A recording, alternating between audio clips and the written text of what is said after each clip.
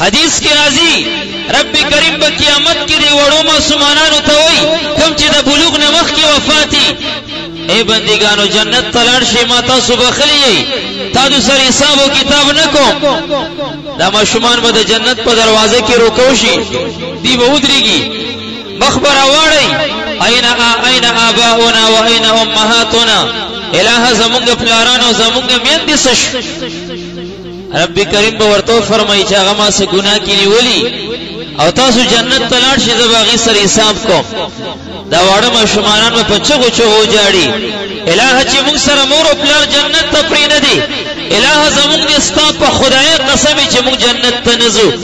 رب کریم ډېر غیر او غیرتي ذات دی دې وړو ماشومانانو ته به وایي، وي راشئ د قیامت میدان کې دې صفونو کې وګرځېږئ، مور او پلار پیدا کړئ، د لاس نې ونیسئ او د ځان سره یې جنت ته داخل کړئ.